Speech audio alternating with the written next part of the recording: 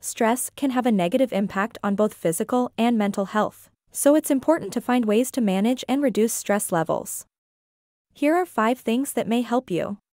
Exercise, physical activity, such as going for a walk or run, practicing yoga, or playing a sport, can help release endorphins and reduce stress. Deep breathing, taking slow, deep breaths, can help calm the mind and body and reduce stress. Mindfulness, engaging in mindfulness activities, such as meditation or journaling, can help bring focus and calm to the present moment, reducing stress levels. Spending time in nature, spending time outdoors, surrounded by greenery and fresh air, can help clear the mind and reduce stress. Connecting with others, spending time with friends and family, or engaging in social activities, can help reduce stress levels and improve overall well being.